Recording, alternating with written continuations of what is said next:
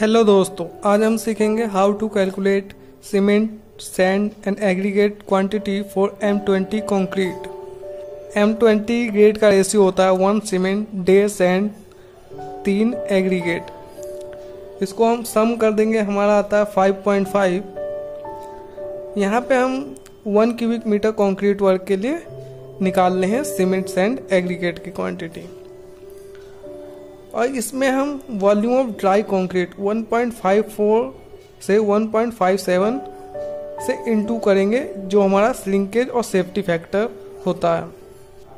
हमारा फॉर्मूला है volume of aggregate require equal to aggregate ratio by sum of ratio into 1.57 1.57 हमारा shrinkage और safety factor है। Aggregate ratio है हमारा थ्री और सम ऑफ़ रेशियो है 5.5 into one point five seven इसे हम सॉल्व करेंगे point eight five six metre cube आ जाएगा।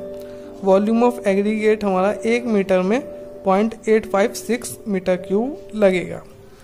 और volume of sand require equal to sand ratio by sum of ratio into one point five seven sand ratio one point five by five point five into one point five seven इसे हम solve करेंगे, हमारा आएगा point four two eight metre cube volume of sand लगेगा हमारा point four two eight metre cube. Volume of cement equal to cement ratio by sum of ratio five seven.